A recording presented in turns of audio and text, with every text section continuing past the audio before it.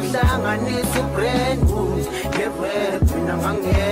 molo mahlobo enibingeleli igama lami ngikudawud waphungula mawukhona ku-instagram ngicela ungilandele it's at dawud underscore phungula. Ukhala ngamaphoyisa umndeni wengane yentombazanyana eneminyaka ngu-13 okudala efunda imbali yethu welbedach chatsworth iyashawa kanzima uthisha nhloko wakulesi sikole. Lo mndeni uvulele uthisha nhloko icala kanti-ke namanje uthi-ke amaphoyisa ayadembesela ukubopha lo thisha nhloko ngesonto ledlule kusabalala izithombe zale ngane enkundleni yokuxhumana imidwayidwa umzimba wonke-ke laphana ivuvukele nasekhanda kube ukuthi yashawa nguthishanhloko wakulesi sikole abephephandaba ilanga babe ukuthi le ngane yashawa nguthishanhloko emva kokuthi idlalise enye ingane-ke lapha kambe esikoleni. Umndeni-ke wale ntombazanyana waphindwa abake nenkinga esiteshini samaphoyisa sechatsworth ngesikhathi uzama ukuyovula icala ngemva kwalesi sigameko ngolwesihlanu lwedlule uthi kwabakhona-ke iphoyisa-ke libanqabelayo. Kanti kwazi kwasiza abelanga ababaxhumanisa nehhovisi-ke lesifundazwe owabaxhumanisa nomphathi siteshi ukuba kayo bavulela icala ngomgqibelo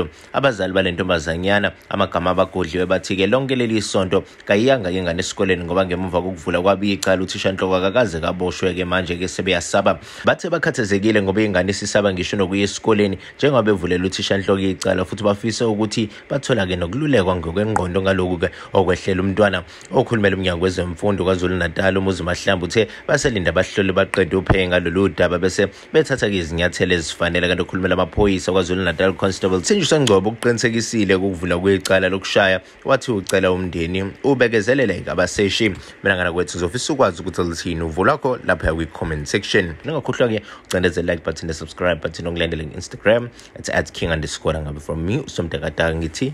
ba senghe